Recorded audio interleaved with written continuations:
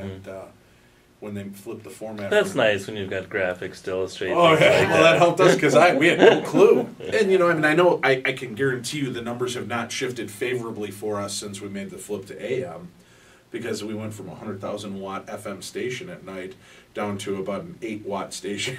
I know for me, you know, I live in Rochester, and when you guys went from 100.3 or whatever to 11:30 a.m., I get crackle now when I and I can only get you in my car. Right. That really sucks. So if it, if it wasn't for the internet, um, I would be able to listen. So I appreciate the It- internet it's a, a- lot. It's a fifty thousand watt AM station during the day, now daytime hours, but then at night, like most AM stations, with the exception of very few, it has to go down under twenty thousand watts, and it doesn't get much of anywhere with that, especially depending on weather conditions and whatnot.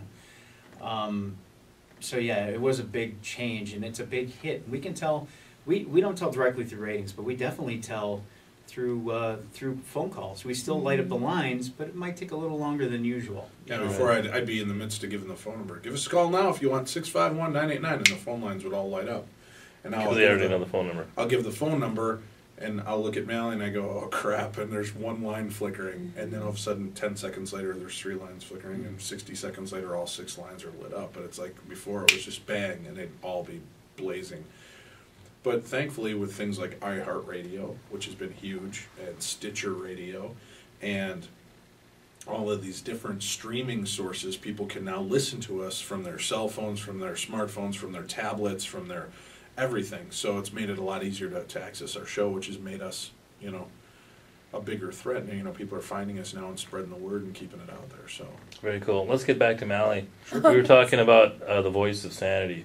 So, what is your role uh, on the show as far as um, your co-host roles? Uh, it's probably not sanity. I chime in once in a while, and I, I'll sometimes bring the woman's opinion, but uh, mostly I'm just. Are there a lot of women um, uh, listeners out there that have Yeah. questions about relatives or deceased pets or things like that? I would think so, especially when we um, open up the lines for uh, psychics or uh, angel readers. We get a lot of women, but I'm amazed though that we actually get a lot of guys too. But it's more women, I well, the, think. the demographic definitely for this show is probably 70% Yeah. women. Yeah. Before I would have I would have put it at 80, 80 to 85 percent women based, but we're picking up more and more guy listeners, men listeners, you know, across the globe. So it's it's kind of cool to have. Uh, I think it's getting closer to that 50-50 ratio because I think guys are getting more into it, but women are more open to the paranormal. I think so. That's why they're a little bit more apt to join us and have fun. Sure. Plus, you get these two hunks of man meat. I, I know, right? That's probably why the women are drawn to the show. So, um, let me ask you about um, the um, uh, your uh, darkness uh, uh, show. I'm sorry, um, the Travel sh- uh, Channel show, Paranormal Challenge. You Uh-huh. filmed that last year. Right. Can you tell me about what that project was all about? Well, Paranormal Challenge, you know, doing the radio show, we've had a lot of different opportunities that have been afforded to us. And do you want to do this? Would you be interested in that? And I've, you know, being a part of a paranormal investigation show now would freak me out just because there's so many people looking to just destroy your career if you go out there and, and you know, think every mouse fart is a demon and, you know, every scratching branches is uh, grandma's soul coming up to, you know, reclaim you for the family tree. I don't know. It's just bizarre stuff. So when they came to me and they said, we want you to be a judge watching other paranormal teams and pointing out what mistakes they make and what's going on in the field and we're going to kind of put the spotlight on on that aspect do you want to do this? I said yeah that'd be great. And uh, they brought me in and then they said well who do you think would be other great judges for you you know to work with? So i gave them a list of about 20 different people uh, including dr michael shermer from skeptic magazine uh, who came on and did uh, i think one of our final episodes. So it was it was a great opportunity to work with uh, you know uh, some of the legends in the field and you know just have a chance to kind of judge and watch the way teams interact with each other collect evidence and, and present the paranormal Sure. How many episodes was it? 12 episodes Is there any push to maybe do it again? you know reality tv is about doing it on the cheap and our show was an expensive show to do i mean there was a lot of ca- we probably had like 40 to 50 cast and crew members uh, behind the scenes setting up and you know getting lighting and electricity and and and everything to these old desolate locations so i think it was probably just not price conducive to. Mhm. You know, certainly if they call me and want to do another season, I'd be happy to jump on board. But at this point, I think they're looking for, uh, you know, when you can take three guys like Zach, Nick, and Aaron and throw them in a building by themselves with two cameras, and they come back with an hour's worth of TV show, or you've got to now foot the bill for forty people, and you know, Zach is your host, and Dave is the judge, and two celebrity judges, and you know, bringing in two different paranormal teams from different parts of the country, and A lot of logistics. yeah, so there's a lot more involved in it, and I think it's just on the fly. People, you know, when you have shows like, uh, you know, Anthony Bourdain or, or uh, Ghost Adventures where there's one to three people in the cast and it's a lot easier to contain, it's just a cheaper way to go about doing it. Cool. So, what is the future of the show? I mean, do you have any future plans as far as, as that goes? Are there any projects out there in the future? Right now, uh, just working on trying to extend the show into a two-hour format would be our main goal. But uh, we're also trying to expand and, and get picked up in different uh, states uh, to make the show available nationwide, uh, so that uh, you know other other people can listen right on their terrestrial radio waves. So that's that's a big push that I'd like to start seeing by the end of 2012. I'd like to see that we're on a station in California, Chicago, and, and New York. By the, you know, that's my goal by the end of this year is to have us in those three markets. You know, whether it's big stations or little, I just want to start breaking into the different networks and, and letting people know we exist. Sure. Final kick of the cat, I guess. Um, do you have anything uh, for the good of the order? Anything that you want your listeners to really know about the three of you and your show and, and what your goals are? I just want you to come along with us every week. You know, I, I specifically, none of us really sort of research the information on the guests that we're going to have on. We keep Malle in the dark as much as possible. no, seriously, just to, you know, for her Sanity. sanity. well, no, but for you know to hear her actual reactions to things as they come through, and and I don't learn too much about the guests until they're on the air with us, so that that way we listen and we ask the questions that our listeners want to know. Because Sure. the problem is when you're familiar with something, you forget to sometimes break it down and make it generic for everybody to to feel like they're a part of the game. So we don't educate ourselves too much on each one of these topics. Now, over seven years, we've certainly educated ourselves a lot with the different topics, so we can actually ask more intelligent and thought-provoking questions of guests. You know, because you so there, there's really not much. There's cryptids, you know, which is like Bigfoot, Loch Ness, and you've got demons, you've got angels, you've got ghosts, you've got poltergeists, you've got um, aliens and, and UFO abductions. So you've got about seven to nine topics. How do you Mhm. do that five nights a week for seven years and keep it fresh? You know, it's, it's all in the way that as we learn, we apply what we know to the different guests and, and we look for guests that have a different take on the subject. And thankfully, because there's always an evolving, moving, I think the paranormal is just this live form that just continues to evolve itself and change and you start to grab onto it and think you've got it and like sand that just slips through your hands and all of a sudden you're in a totally different perspective of what the paranormal is and and and there's all these great guests that are coming at it with totally different angles and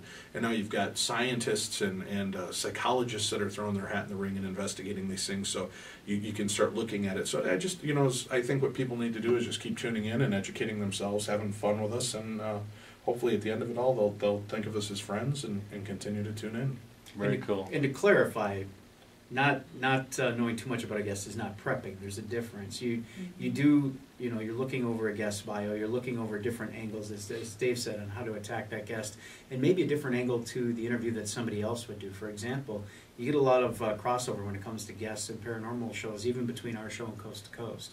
So we may have somebody on one week, and they'll pick our pocket a couple weeks later and have that guest on. But the, the interview that Dave does is going to be significantly different than the interview that George Noory does, mainly because Dave will take that guest, he'll kind of study a little bit of their background on the bio and say, hey, you know what, I'm going to take them in this direction tonight. This is where I really feel this is going to be the strongest interview. So, not uh, not uh, knowing too much ahead of time is not the same as not prepping. Mm-hmm. Cool.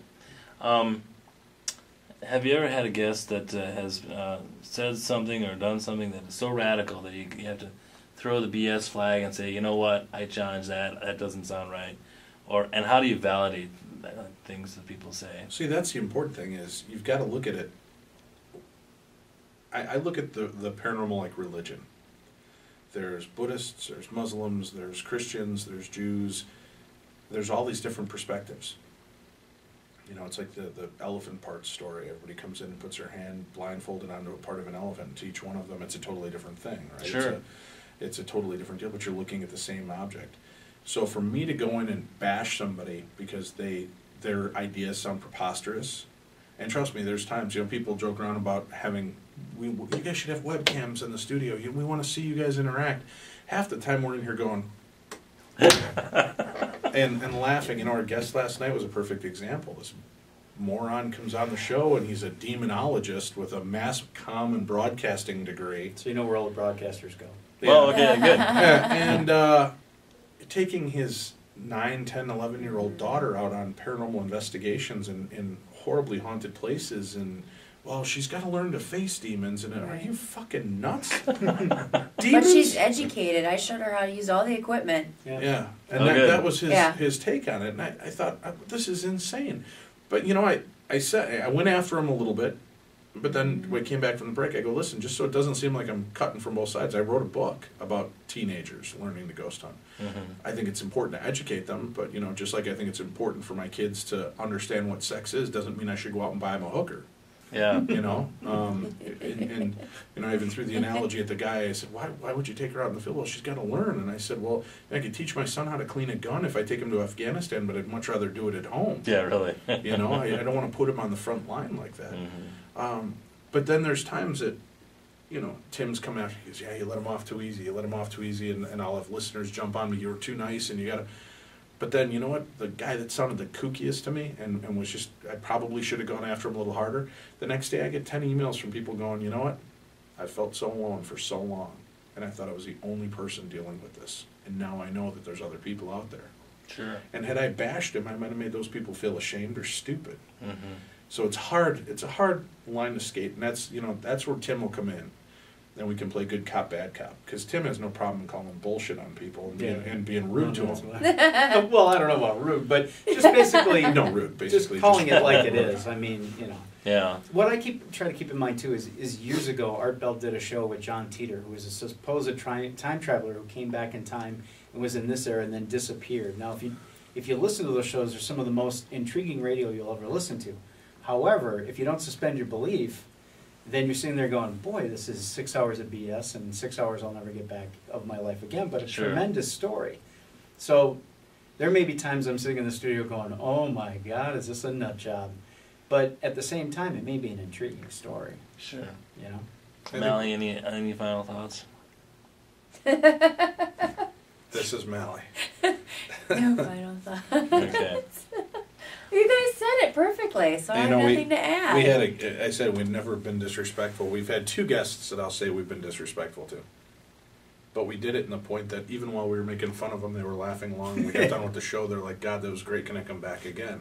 Yeah. And I, I was like, "Really? I just spent an hour t- making complete fun of everything you're talking about." Sure. And they're like, "Yeah, but it was great. What a fun time. You guys are mm-hmm. awesome." So we Very had the cool. lady, lady that thought she was dating Satan. yes. Oh no. Oh, that was a good show. Yeah, and, It was and uh, you know, she started telling the story, and then we just started laughing along. You know, she tells, I go, well, how did you meet the Prince of Darkness, Satan, in physical form? She goes, well, you know, I was I like to dance, and I was looking for a dance partner, so I was reading in the Penny Saver, and he had placed an ad. Oh no. And Tim and I looked at each other, and I, Tim and I looked at each other, and I said, well, it's good to see that the economy has even hit the Prince of Darkness, and he's resulted in placing ads in the Penny Saver. Yeah, really. So, Missed contacts. yes, exactly. The devil uh, of Prince of Darkness has uh, missed you at uh, the corner of uh, Seventh. You were supposed to get hit by a car, but You were in you Perkins. you, uh, you decided to turn left instead of right, and so if you still want to uh, just trip straight to hell, come back to. I saw you across the room in Arthur Miller's dance studio and couldn't resist. Well, I just want to uh, thank you guys for taking the time uh, to do this interview. It's I, I'm fascinated by the genre and your show, Thank you. and um, it's I'm, I'm a fan, and I really appreciate uh, you taking the time. So, uh, Thank thank you you. all very much. Well, thank, Thank you for including us. Yeah. Cool.